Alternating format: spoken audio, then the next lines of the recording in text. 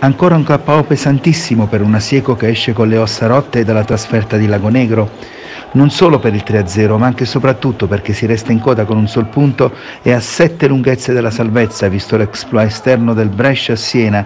E in arrivo c'è la matricola terribile del Motta di Livenza di Gamba e compagni, come uscirne?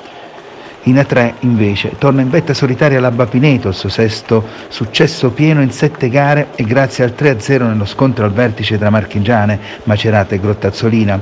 Ma la squadra di Rovinelli, va detto, non ha brillato, ancora in cerca di un rendimento che sia più costante e più consono alle sue potenzialità. Vanno comunque ringraziati Link, 28 punti, e Catone in ottima serata. In A2 femminile, pausa per l'Altino, in B maschile piange un'Alba sempre più in difficoltà di classifica, zona rossa. Ride invece invece sorride un Paglieta che vince in trasferta e si pone nelle zone medio-alte in assoluta sicurezza.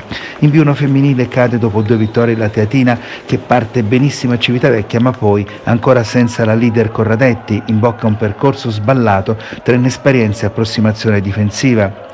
In B2 ancora un colpaccio del Teramo che liquida pure il Bari e torna una tacca dalla capolista Corridonia e mentre il Gada Pescara 3 perde un'occasione propizia per infilarsi verso l'alto, una 3 col tosto e Marpione Trani nelle immagini, il derby tra D'Annunziana e Ceteas è appannaggio delle pescaresi che meritano ampiamente un indiscutibile 3-1 che alle giovanissime di mister Di Tommaso spalanca le porte verso lidi più tranquilli, inguaiando purtroppo le cugine montesilvanesi.